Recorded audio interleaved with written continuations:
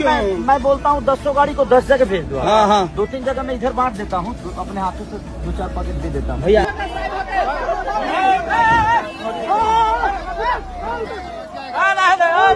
रुका रुका भैया रुक चलो खेसारी भैया के इस अकेले वीडियो ने यह साबित करके दिखा दिया कि पूरी भोजपुरी इंडस्ट्री से कभी दोबारा कोई खेसारी लाल यादव नहीं बन पाएगा। जी हाँ दोस्तों, जब भी बिहार की जनता को खेसारी भैया की ज़रूरत होती है तो हर समय खेसारी भैया उनको पीछे खड़े हुए नज़र आते हैं।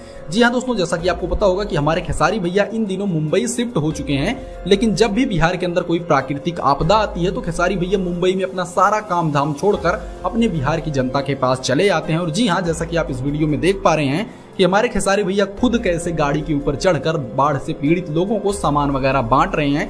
कोई भी घमंड नहीं है कि मेरे आदमी जाकर बांटेंगे, ऐसा कुछ नहीं है। खेसारी भैया जहाँ तक जा सकते हैं, वहाँ तक वो खुद से अपने हाथ से जाकर लोगों को दान कर रहे हैं और भाई उनकी मदद कर रहे हैं। तो ऐसा होना चाहिए हमारा सुपरस्टार, चाहे जैसे भी हो, हमारे खेसारी भैया सबसे बेस्ट हैं।